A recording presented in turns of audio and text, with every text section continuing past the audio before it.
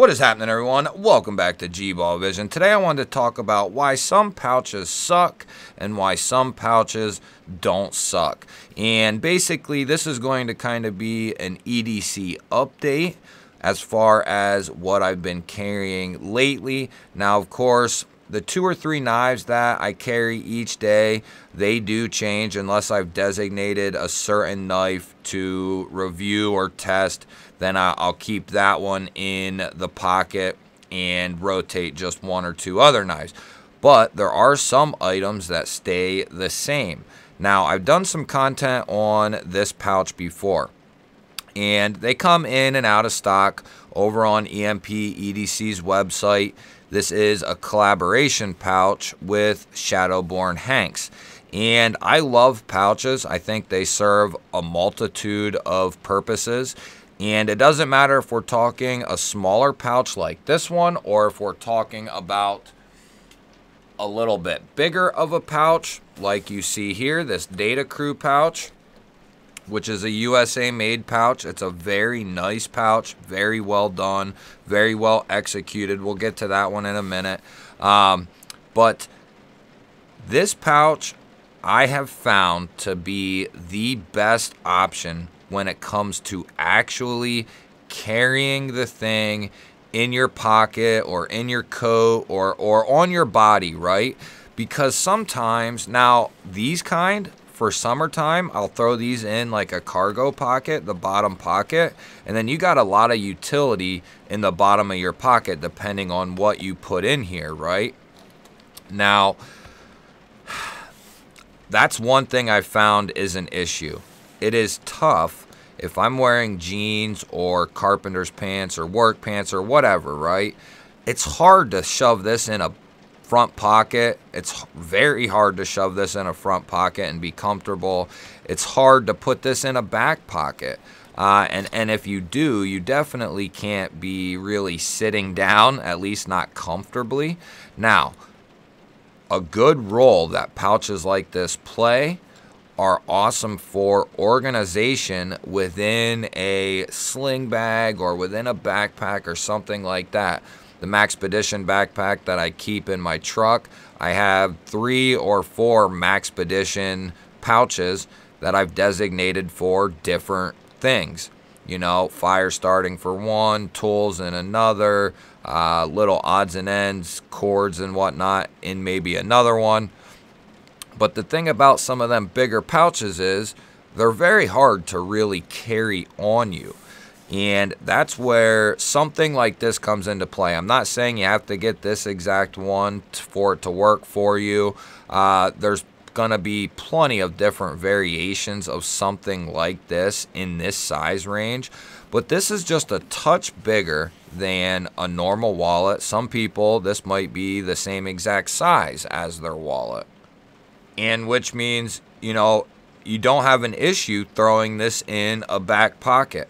Uh, my wallet's very minimal, so I have no problem putting this really in the same pocket as that. But a lot of times I'll throw this in like my back left pocket, or sometimes I'll put my wallet in my front right and throw this in my back right. It just kind of depends. Uh, I always have a knife in my front right pocket, though, of course. Now, the reason I love this thing is not only do I have a zipper pouch, and I'll kind of show you what we have going on in here, what I've been basically carrying with me the last couple weeks. I threw a little fidget in there. This has been the main fidget that I've been messing with, uh, you know, the last couple of weeks, couple of months anyway. The Fidget Boy game slider, or that's what I call it anyway. And then I have a nice lighter in here. This is the Made in Japan Douglass Field lighter. I believe this is the L. Yes, this is the Douglass Field L lighter. And this is an old school, old style trench lighter.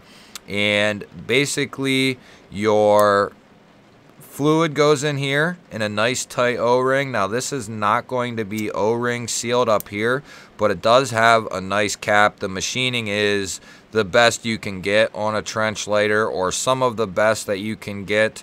Uh, and then your uh, strikers go in this tube and get pushed up by a spring, and then that gives you your spark. I have carried this a lot and it has held up very well. This is an aluminum body with an anodized finish and it does have a little bit of wear and tear on it. Uh, but for the most part, this thing is solid as a rock. I've talked to guys who've had these for decades. Uh, so it's definitely a nice quality lighter. They are a little bit more expensive, but uh, definitely worth it in my opinion, and they're minimal too. Very small, can fit in the palm of my hand. Uh, they don't take up a lot of space. They're lightweight. So, and it's always nice to have a flame uh, nearby for sure. So, and then, oh yeah, and then I keep a little tiny in case I, you know, I'm feeling a little frisky. I keep this little X-Acto knife down at the bottom in there. Just in case, you know, uh, you never know. But it is spring loaded, kind of like a bolt action pen would be. I don't remember where I got this. I'll try to remember and link it down below if I can.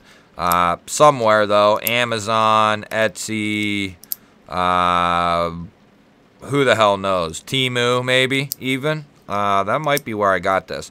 Anyway, little X-Acto keychain type of deal. And it's, uh, what is that? It's not copper. I think it's brass. Yeah, it's brass. So that stays in there. And then that's pretty much it. And there's plenty of more room in there for other stuff. But like I said, I try to keep it fairly minimal. There's times where I don't take this with me. And there's been times where that hasn't gone with me. It's just been my lighter. But we'll get to the back side, and you got two pockets here. Um, I, I, I've rotated this in and out, the Vero Fulcrum. I love this pry bar, um, and I love it, and also I think it's, I think it's great because of its length, but that's also somewhat of a detriment to it as well. The length gives you the ability to actually do some real prying. It also gives you the ability to have a grip for when you are using the screwdriver, which is why I really, you know, love this thing. Not only do you have the pry bar, uh, wide flathead, quote unquote, plus the bits and the driver. It's just really nice.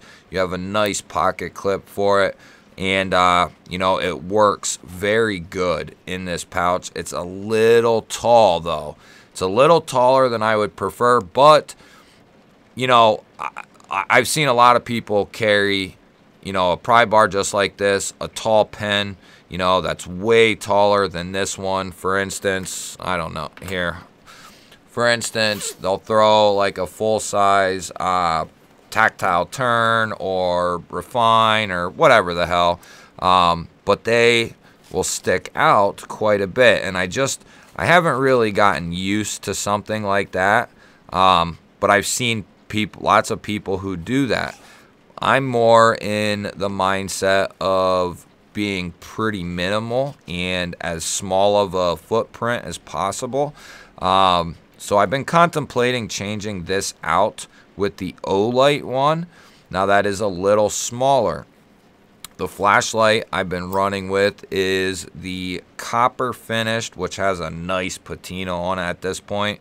They come, you know, bright orange uh, or bright bright copper basically you can kind of see it in here but this has taken on a patina of its own has a nice mind of its own but uh, the Reylight Pineapple Mini is a fantastic little light.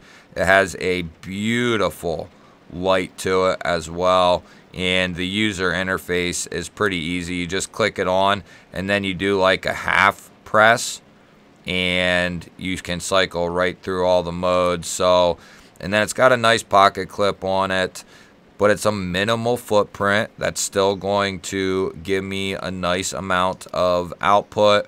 Now, I think you can program these, but when this one restarts, it's always on Moonlight, and then you can just cycle through the other modes. It's got such a nice light. Uh, the pineapples and mini pineapples and the land as well. I love the land. But when you start getting into some of them bigger flashlights, I'd rather pocket carry them than pouch carry. Uh, because you have all this stuff in one spot, you want to try to keep stuff minimal or you're going to have a very big footprint. So we'll get these two guys out. There's a couple things I wanted to touch on in this video here. And then we'll get to our pen. Now this is the Big Idea Design titanium pen. I think it's called the Pocket Pen Pro. But it gets nice and small, but it's still usable. It's just big enough that it's usable. That's what she said as well.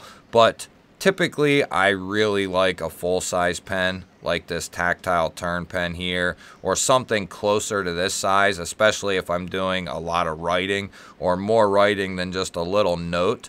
But this is better than not having anything at all and it's able to keep a nice small footprint and these are nice because you can get different refills and make it come down and be pretty big. This is kind of a a shower, you know, or a grower, not a shower.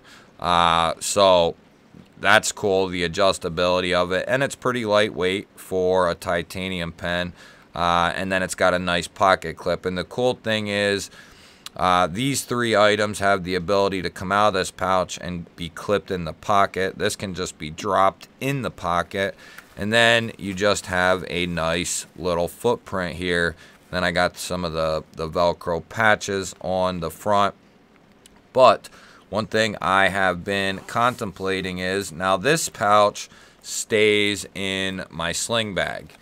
But I've been contemplating taking this Olight pry bar out. You're going to see here that this, see I keep my other tactile turn, or my other big idea design pen in here which is in my sling bag, so it's kind of repetitive, but I don't really care. This stays with me, that stays in my sling bag, so a little different. But uh, this has just a little smaller of a footprint. So I think I might ultimately go with this one.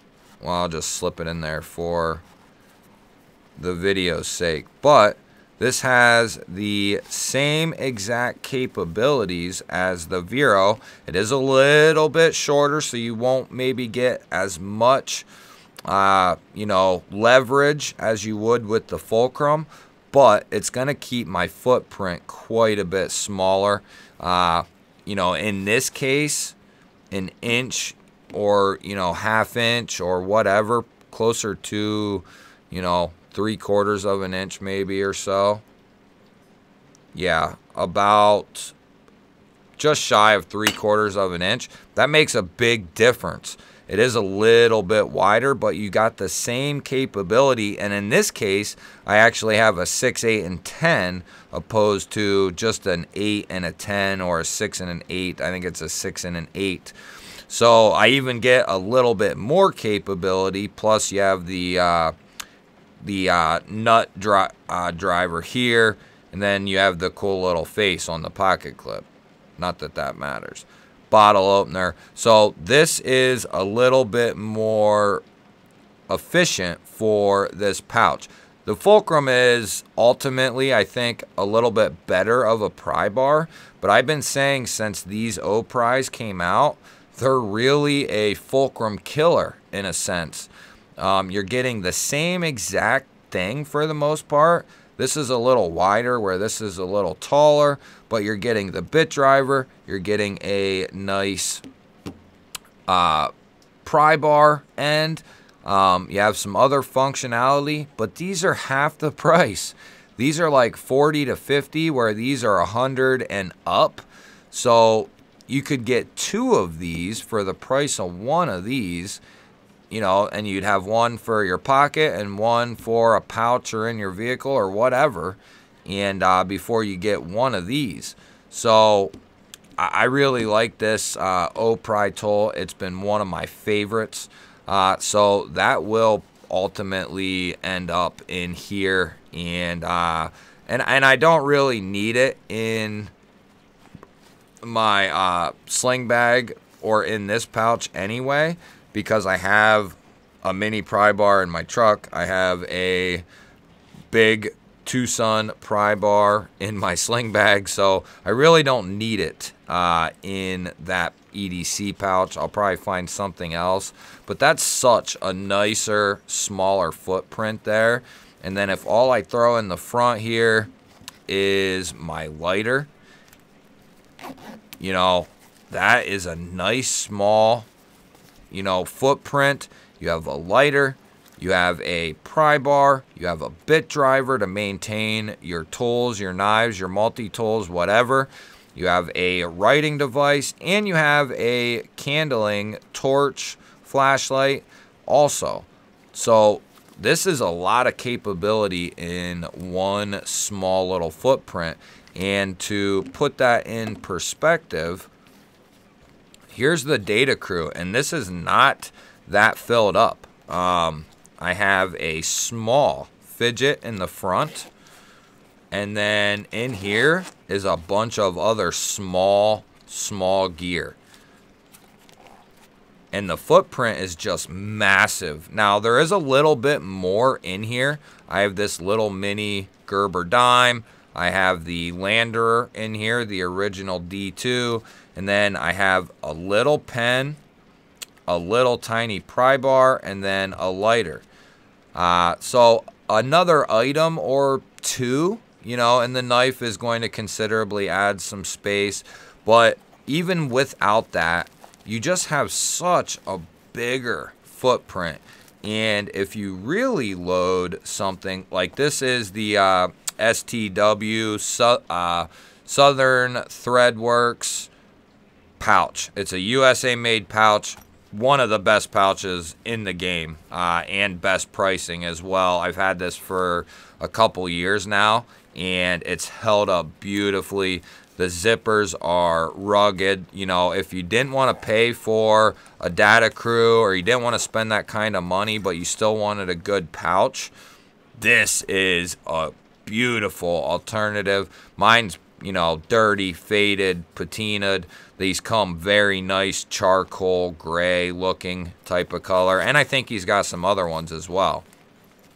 But if you really load these up, you know, to their full potential, so to speak, you know, you have every slot filled up, you know, maybe some added stuff in the middle here. I got this little flashlight in the middle, a charger, for it here, but uh, they, they just make a massive footprint in your pocket. And it's not the most comfortable thing in the world to put in your jeans. So something like this is going to be a massive game changer when it comes to the pouch game and that sort of thing. And I know there's people out there looking for pouches, you know, trying to decide what pouches to go with. The only other recommendation that I could have or give, and it's a similar idea as this, not going to give you as much capability, but it's like, uh, it's something like this, kind of a, this is a hide and drink, I believe. Oh, no, it's not. It's a, whatever the hell, dye dry, but it's nice. Um, I didn't pay a ton for this. Um, you can you got two slots here plus a spot for your pen. This is what I used to use. Uh, I throw it right in my back pocket like a wallet, and uh, you have your pen. Uh, and then you could you know kind of do this up however you want. Typically, I don't put knives in here to carry on my person. Uh, this is just where I store these two slip joints at this point. Uh, I've thought about getting it back out and using it, but uh, you could put a pen, a pry bar, and a flashlight probably all together in here, kind of similar how I have this one set up. Uh, you might have to tweak on that a little bit. You might have to go with one or the other.